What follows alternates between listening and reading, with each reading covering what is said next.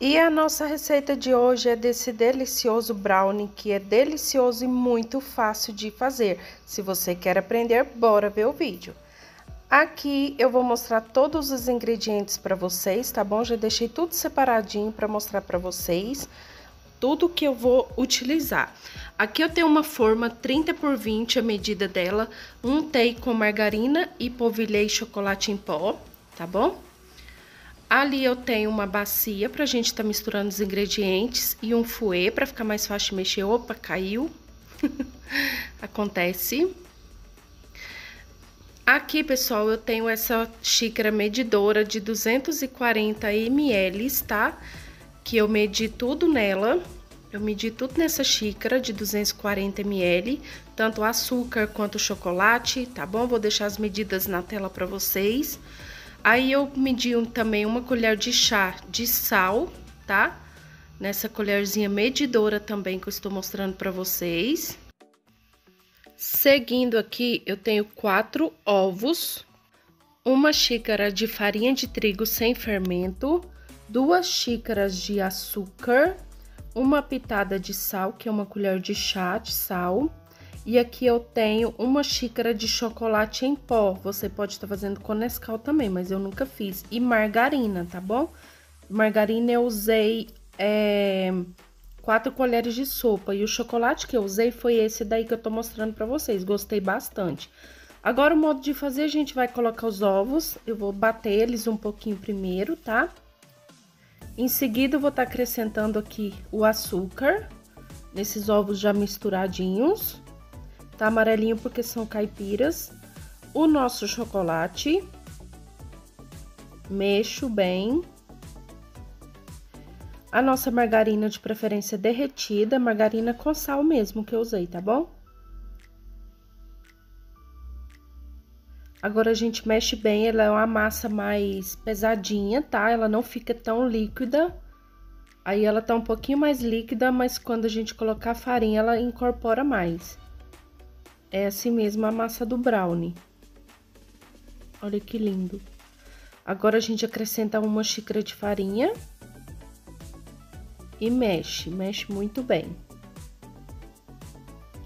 Tá vendo que ela é uma massa mais pesadinha?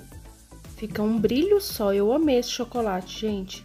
Foi indicação que eu vi e eu achei e eu comprei. É, acrescentei uma pitadinha de sal, fora que rende bastante, né? Olha a cor bonita que fica. Olha só, ela fica nessa consistência. Fica bem bonita. Agora aqui eu já vou passar para minha forma. Essa forma é 30 por 20, tá? A medida dela. Agora ali eu vou rapar bem com a espátula, né? Para não desperdiçar nada. Sou dessas. Olha só como que ficou. Agora eu já vou levar pro forno a 180, tá? É, graus pré-aquecido por 30 minutos. O meu ficou exato 30 minutos no forno, tá bom? Só liguei a resistência de baixo, não liguei a de cima.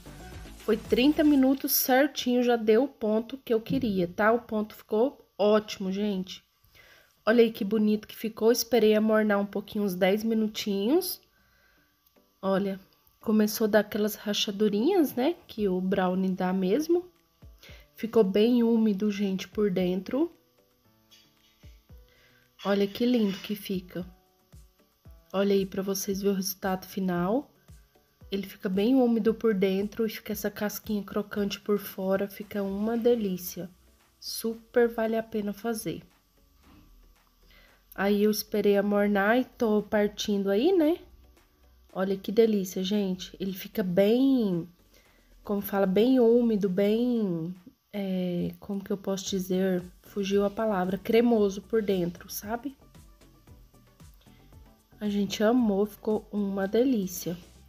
Claro, né, que eu fui experimentar ele morninho, porque eu não sou besta. E assim ficou essa delícia de receita, gente. Foi a primeira vez que eu fiz e deu super certo, tá? Vou deixar todos os ingredientes aí na descrição do vídeo para vocês, ok? Olha que lindo, essa casquinha é tudo de bom, né, gente? Eu amo essa casquinha do brownie. foi a primeira vez que eu fiz e amei e já quero fazer mais vezes já. Aí eu fui fazer, eu falei, por que não compartilhar com o pessoal do canal, né?